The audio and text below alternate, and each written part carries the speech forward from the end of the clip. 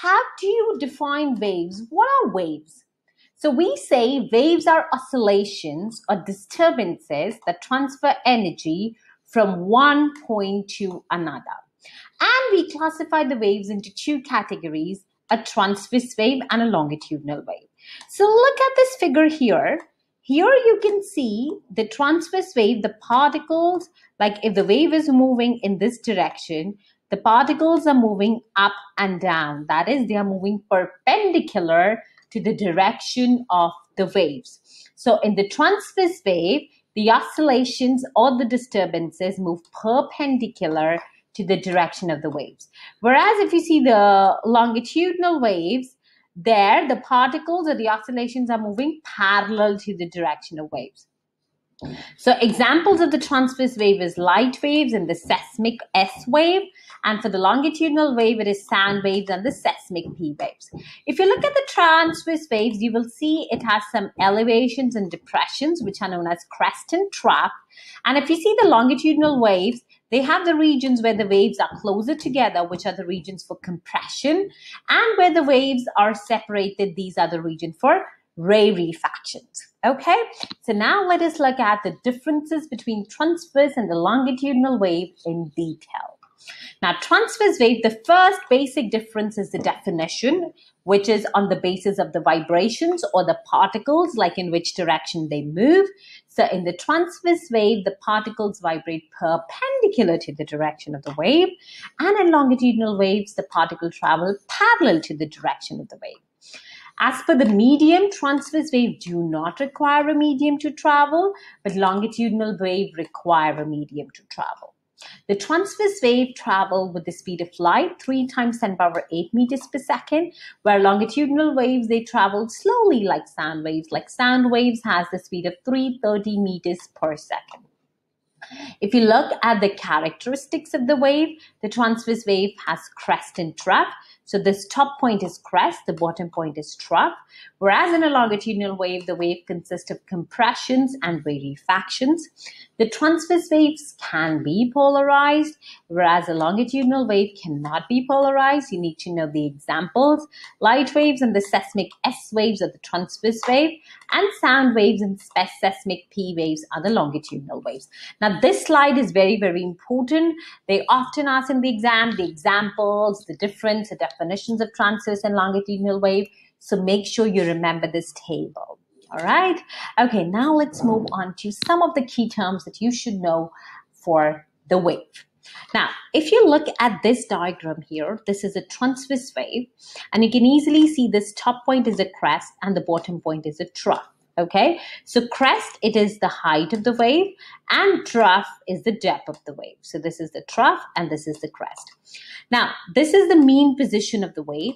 Now, the distance from the mean position to the highest point in the wave or the maximum displacement of the wave from the mean position is known as amplitude.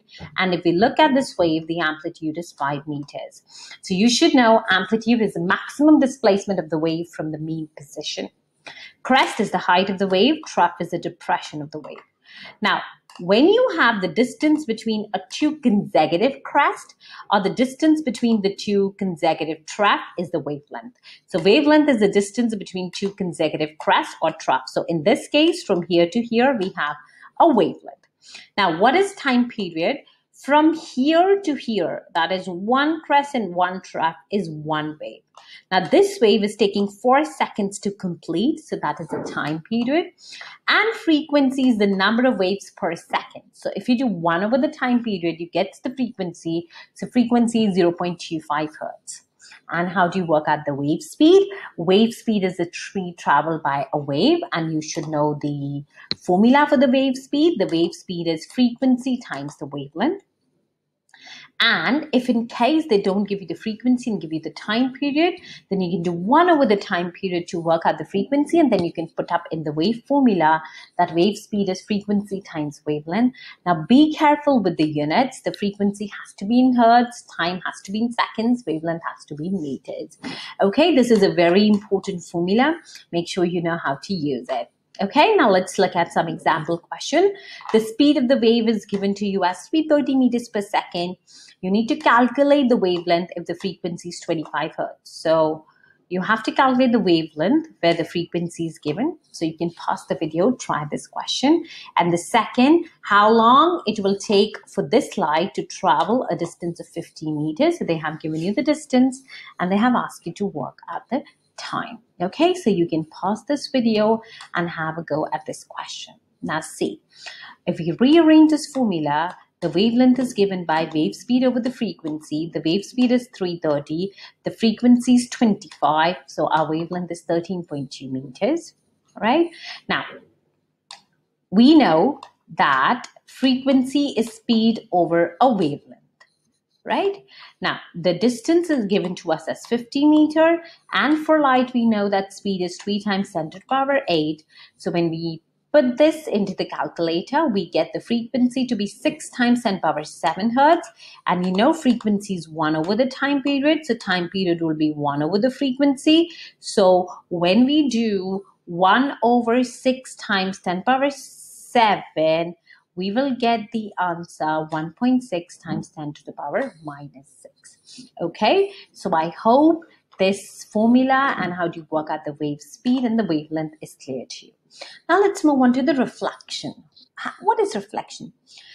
Now, reflection of light is the phenomenon of bouncing of the wave when it hits a medium. So let's suppose this is a mirror and this is the ray that is incident onto a surface of the plane mirror. So that's the incident ray. Incident ray is the ray incident on the surface.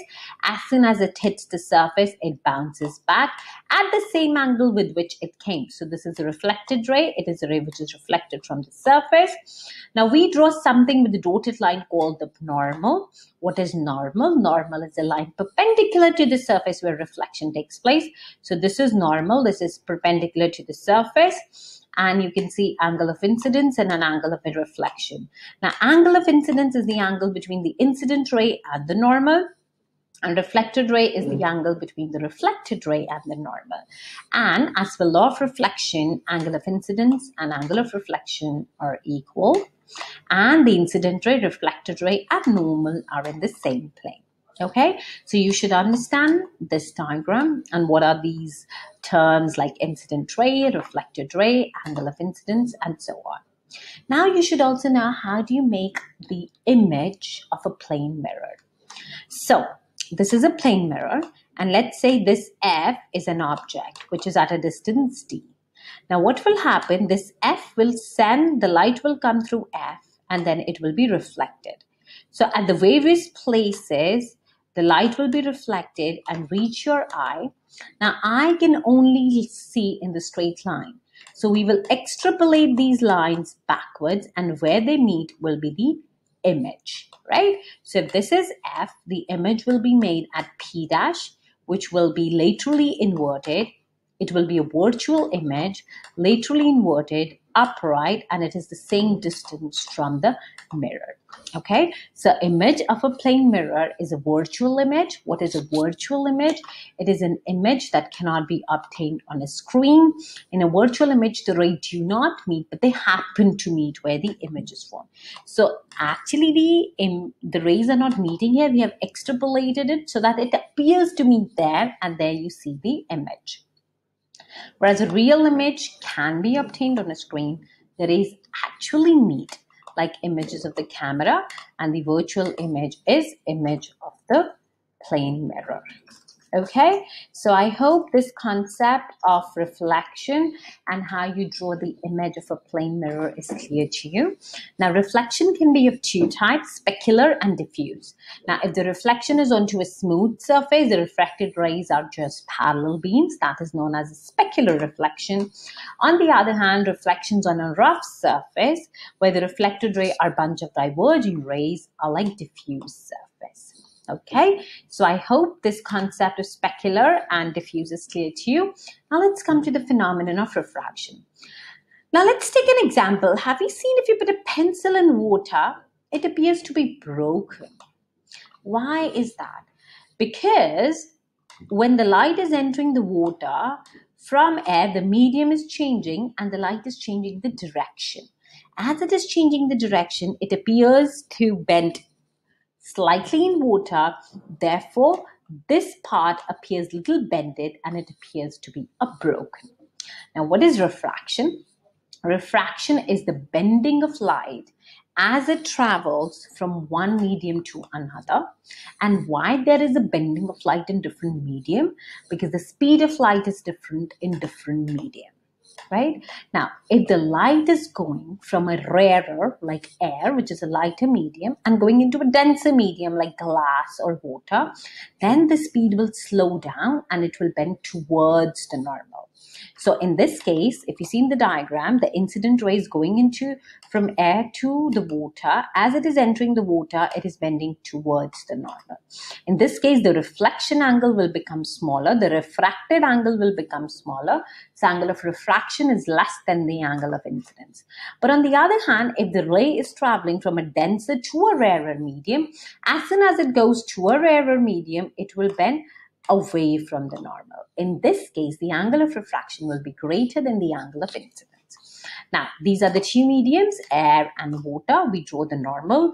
The incident ray comes to the surface. As soon as go it to the water, it bends towards the normal. And the angle of incidence and angle of refraction is smaller than the angle of incidence. Okay, so this is what is bending of light. Now, what is visible light? Visible light is a spectrum of seven colors, and those seven colors are violet, indigo, blue, green, yellow, orange, red, which is very pure.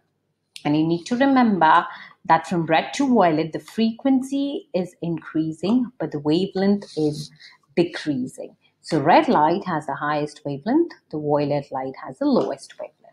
Each color has its own frequency and wavelength. The visible color of the object will be the color that is reflected by the object. So for example, if you see something green, it means that object is reflecting the green color. That is why you are seeing a green color. Now, depending on whether a light can pass through an object or not, we have three categories. We have opaque objects, translucent object, and the transparent object. So you can see here, this looks like an opaque opaque. This looks like a little translucent object. So opaque object does not allow the trial light to be transmitted but absorbs all the light. For example, a book. If you keep book in front of you, you cannot see what is behind the book. Translucent objects are like plastic. These objects allow some part of the light to be transmitted. So behind the plastic, you see some hazel things. Whereas a transparent object, they allow the light to be transported through them without any absorption. And you can easily see the things behind the object. For example, glass.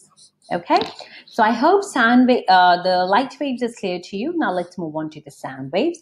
As we discussed in the first slide, the sound waves are longitudinal. The sound does not travel through a medium. It does not travel through a medium. It requires a medium to travel. Sound waves is characterized by compression and rarefaction. In sound waves, the particles vibrate parallel to the direction of the wave. Now, if you see this, this is a low amplitude. This is a high amplitude. This one, the waves are very less. So this is a low frequency wave and this is a high frequency wave. And the speed of the sound wave is 330 meters per second right? Now, sound waves can have any frequency, but there is a human hearing range which is from 20,000 to 2200 to 20, 20 hertz to 20,000 hertz. That's the human hearing range.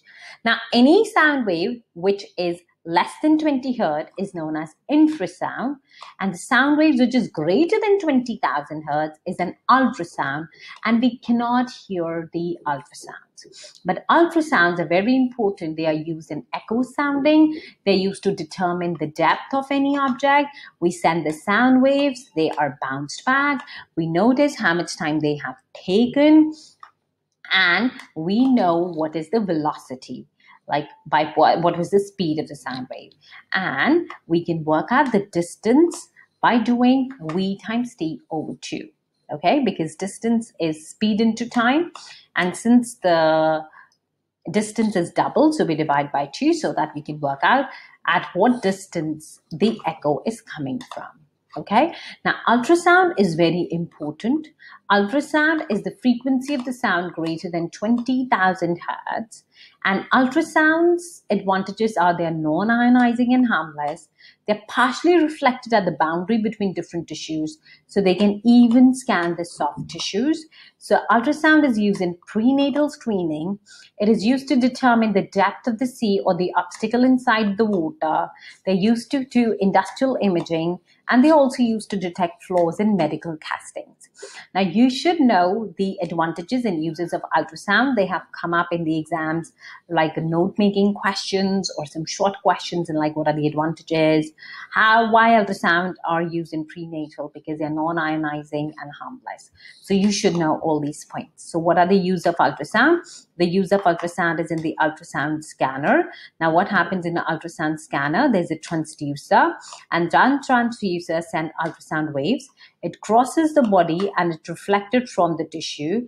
The transducer detects the wave reflected from the tissue and image is displayed on the screen in the form of scan. Now, what is sonar? Ultrasound waves are used to measure the depth of the sea or to find the obstacle underwater.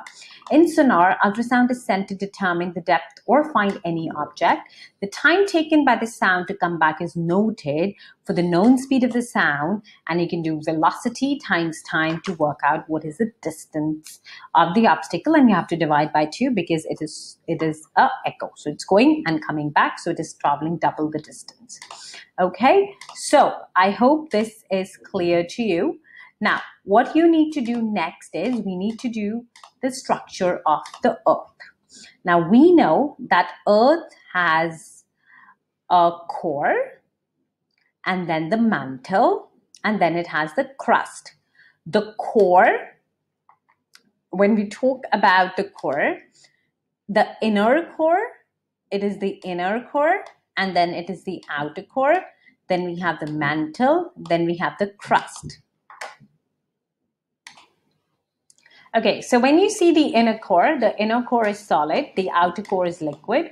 The mantle behave like solid, can flow very slowly, and the crust is completely solid.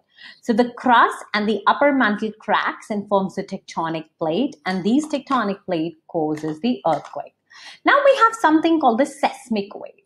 Okay. Now, what is seismic wave? The seismic waves are the shock waves which originate when the force inside the earth moves the rocks of the tectonic plates. The wave travels through the earth and also across the surface.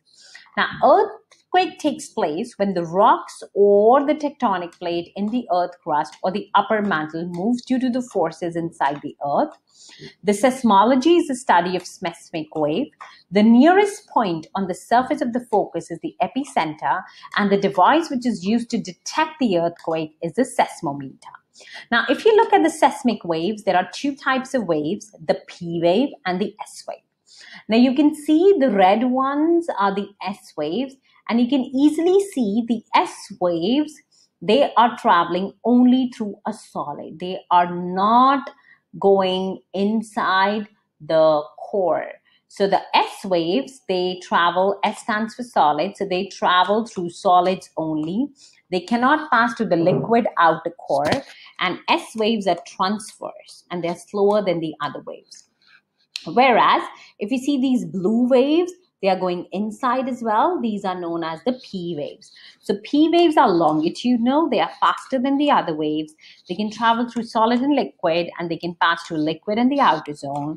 And you can see this area, which is between the two blue waves, there you find no S wave. You only see the P wave. So these are known as the shadow zones. So shadow zones are the places where no P and the S waves are detected. So S shadow zone is where no S wave is there, and P shadow zone is where no P, uh, P waves are detected. So you can easily see we have drawn the crust, core, and the mantle. The S waves are just at the surfaces. They are not crossing uh, they are not into the solids and the liquid, whereas P waves are traveling inside. So you should know what is the difference between P wave and S wave, and you should be able to label this on the Earth diagram. Where are the P waves? So they can ask you to draw the directions of the P and the S wave. So you need to be careful that S waves are not traveling uh, through liquids. They are just traveling through solids only, so they'll be at the outer surface only. And uh, the P waves will travel inside the cores as well. Okay. Now, what is uh, what information does the seismic waves gives you? It gives us that, that there's a liquid outer core under the mantle because you have the shadow zones that are detected as P waves refract twice, once while entering the core from the mantle and leaving the core from the mantle. Since the refraction is further away, forming the shadow zone, it suggests there's a liquid outer core under the mantle. And we have a solid inner core as the weak P waves in the shadow zone caused by the refraction of P wave while crossing the boundary between the outer core and the inner core. The P and the S wave travel through the mantle, changing direction and depth. P waves refract at the boundaries between mantle and outer core. The S waves being transverse do not travel through liquid outer core. The long L waves travel the slowest. They happen only in the earth crust and they cause void movements. Okay, so I hope the seismic wave is clear to you and what observation they give us on the surface of the earth, structure of the earth, that should be clear to you. Now let's come to a very important topic called electromagnetic spectrum. Now, what is electromagnetic spectrum? It is a spectrum with all the electromagnetic waves arranged in the order of increasing wavelength and frequency.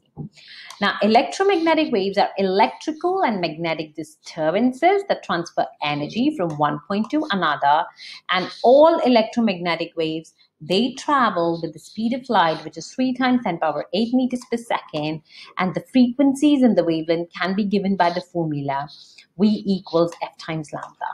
Now, it starts with the radio waves, microwaves, infrared, visible, ultraviolet, X-rays, and gamma rays. Now, to remember, radio waves, they are traveling a greater distance. You can see the radio station is in one city. Even you can hear the radios from one country to another. So radio waves have the highest wavelength. So from radio to gamma, the wavelength will be decreasing and the wavelength and frequency have an inverse relationship. So as from radio to gamma, the wavelength is decreasing, the frequency is increasing. Now, what kind of a question they can ask you in the exam? They can ask you to write these in order they can ask you which one is having a shorter wavelength or which one is having a higher frequency.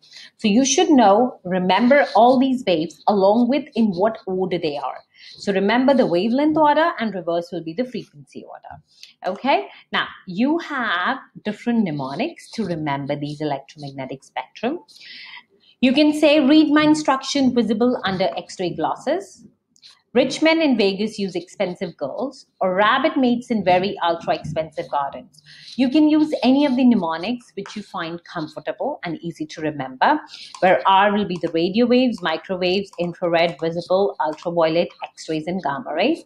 And remember, as you go from radio to gamma, the wavelength will be decreasing and frequency will be increasing. Okay, so that's an easy way to remember and make sure you remember that. It is very, very important. Now you should know for each of the wave, what is the source, their properties, their disadvantages and advantages. So for gamma rays, they are produced when the radioactive substance emitted the nuclear radiations. They have the lowest wavelength, they have the highest frequency, and they travel with the speed of light. For the use, they are used to disinfect food and surgical equipment. They're used to kill cancer cells. In gamma treatment, the cobalt 60 is used to direct the gamma radiation to the cancer cell and kill it without affecting the surrounding tissues. The disadvantages of gamma rays is gamma rays are highly ionizing. Exposure to low dose of gamma rays can cause gene mutation, DNA damage, and even cancer. And exposure to high dose of gamma radiation can cause a killing of the cell. Okay, so remember the uses, the properties, and the harmful effects as well. Same thing goes for X-rays. They are produced by stopping high-speed electrons. They are electromagnetic waves which travel with the speed of light. They have wavelength greater than the gamma rays, but smaller than the ultraviolet rays. They have lower frequency than gamma rays, but greater than the ultraviolet rays. And the wavelength is about the diameter of the atom. The uses is the shortest wavelength X-rays are used in X-ray therapy to kill cancer cells without destroying the healthy cells. And the longer wavelength X-rays are used to photograph the internal structure of the the body. These disadvantages are X-rays are highly ionizing, exposure to a low dose of gamma rays can cause gene mutation, DNA damage, and even cancer.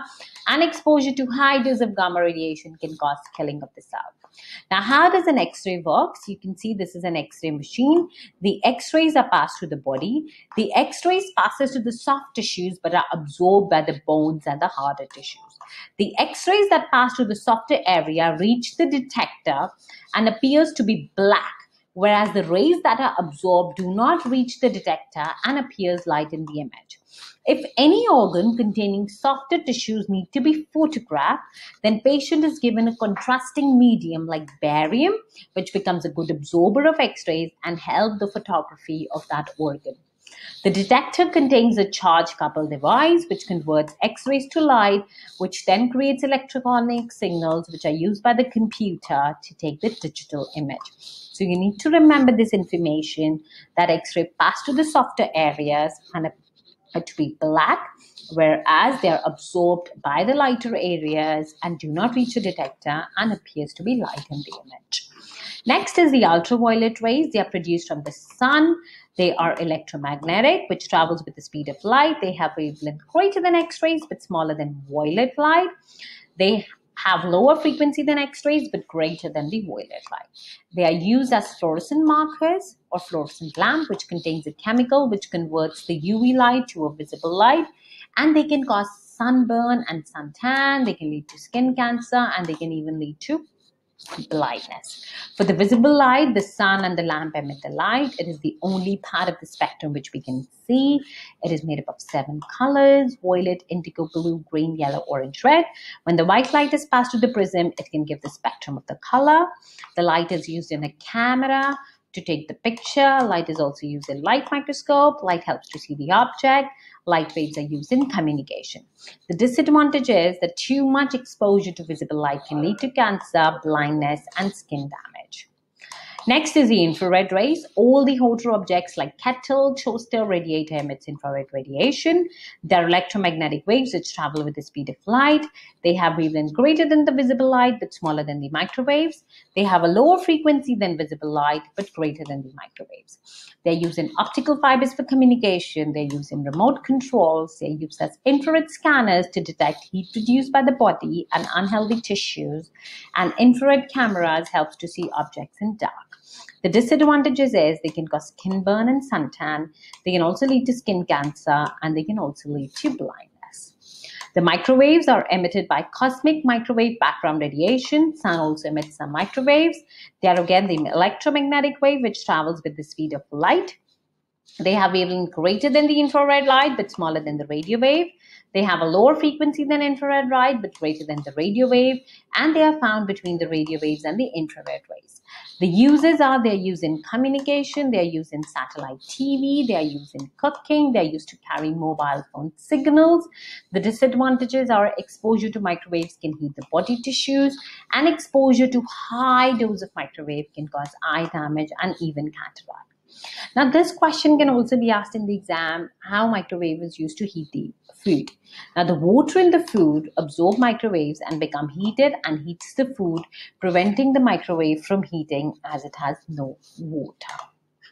Now, radio waves can be generated by natural sources such as lightning or astronomical phenomenon or by artificial sources such as broadcast radio towers, cell phones, satellites, and radar. The properties of the radio waves are they are electromagnetic wave which travels with the speed of light. They have the highest wavelength and they have the lowest frequency. The uses is they are used in communication to carry TV, radios, and mobile signals. They're used in wireless connections and Bluetooth connections. The disadvantages is that exposure to radio waves can heat the body tissues and exposure to high dose of radio waves can cause eye damage and even cataract. Let's come to the last part, which is the lenses. Lenses are used to refract the light and forms the image of an object. They are used in camera. And these are the two shapes of the lenses. One is this, which is like this that's a convex or the converging lens and concave or the diverging lens. Concave lens you can see it is just thinner in the middle and then it becomes broader at the ends so convex lens is a converging lens. Concave is a diverging lens. Convex is thicker at the center than at the edges. The concave is thinner at the center than the edges Convex has a real focus, concave has a virtual focus. It, the convex lens converging a parallel beam of rays on refraction through it, and concave lens, it diverges a parallel beam of light on refraction through it. Convex lens is used in microscope as a magnifying glass. Concave lens is used in telescope. Convex lens is used to cre- uh, correct short-sightedness, but concave lens are used to create uh, correct long-sightedness. Now, for the concave lens, you need to uh, remember some of the points. A principal focus or the focus is the point where the parallel rays meet or appears to meet. And the distance between the center of the lens and the focus is known as a focal length. Now, if this is my lens, this is my focus. This is the double focus. If suppose I place an object at the focus, uh, in between focus and the center, the first beam of light will go to the lens and then it will bend. And the second one will pass straight through the center. Now, we extrapolate these rays backwards and where they both meet will be an image. So if on a concave lens, if you put the object between the focus and the center, you will get a small image, a virtual upright and smaller than the object between the lens and the focus. Now, these are the certain ray diagrams for the convex lens, which you need to remember. When you place the object between the focus and the lens, in this case, one ray will go towards the lens and will refract at the focus. Second will go from the center. You will extrapolate it backwards. You will get a virtual erect and the magnified image. If you put an object at the focus, then where you will get, you will get an infinite distance. These rays will never meet. Even you do here or you extrapolate it backwards. If you put an object beyond the 2F, then one ray will go towards the center, refract at the focus, second will go at the center. You will see they will meet at F and 2F at the other side of the lens. So you will get an inverted real and the diminished object. If you put an object between F and 2F, then you will get an image beyond 2F, which will be inverted, real, and enlarged. And if you put an object just at 2F, you will get the inverted image, real, the same size at the 2F. So you should know how to make these ray diagrams and how to write these characteristics of the object. Okay, so I hope this topic is clear to you. And all these key terms you should be able to define now. What are waves? Longitudinal waves, wave speed, time period, transverse wave, the trough, the lens, the focal length, the crest, frequency, amplitude, wavelength, reflection, refraction, opaque, convex lens, translucent, ultrasound, earthquake, transparent, seismology, seismic wave, electromagnetic spectrum, focus and concave lenses. You can pause the video have a go at these definitions. So waves are oscillations or disturbances that transfer energy from one point to another. Crest is the height of the wave. Transverse wave, the oscillations are perpendicular. Longitudinal wave, the oscillations are parallel. Wave speed is the distance traveled by the wave each second. Time period is the time it takes for one wave to travel. Trough is the depth of the wave. Frequency is the number of waves passing each second, measured in hertz. Amplitude is the maximum displacement of the wave from the mean position. Wavelength is the distance between two consecutive trusted trough. Reflection is the bounding, uh, bouncing of light. Refraction is the bending of light. Opaque do not allow light to be transmitted. Translucent allows some light to be transmitted. Transparent allow all the light to be transmitted. Ultrasound has a frequency of the sound greater than 20,000 hertz. Earthquake takes place when the rocks of the tectonic plates in the Earth's crust or the upper mantle move due to the forces inside the Earth. Seismology is the study of seismic waves. Seismic waves are the shock wave which originate when the forces inside the earth moves the rocks of the tectonic plate. Electromagnetic spectrum is a spectrum where the waves are arranged in the order of increasing frequency of wavelength. Focus is the point where the parallel rays meet or appears to meet. Lenses are used to refract the light and forms the image of an object. Convex lens is a converging lens. Concave lens is a diverging lens. And the focal length is the distance between the focus and the center of the lens. So I hope this topic of waves is clear to you. Now, as always, your next step would be to check the specification and see if you have covered everything and do the exam style questions. The link is mentioned in the description box below on all the questions topic wise on this topic. If you like this video, then do not forget to subscribe to my channel and kill, uh, click the bell icon so that you are notified as soon as I put the new videos. As during the exam time, I put a lot of revision videos. Do not forget to follow me on Instagram at Expert Guidance, where I share key terms, daily revision tips every day. And if you are really keen on uh, doing the GCSE course like in 15 weeks. I have designed a new course, which is a 15 weeks GCSE revision course, which is all free. The link is mentioned in the description box below. You can enroll for this course and you can get all the materials for maths and science to your inbox every week as per the 15 weeks plan. Okay, so I'll see you next in my next video. Till then, happy revising.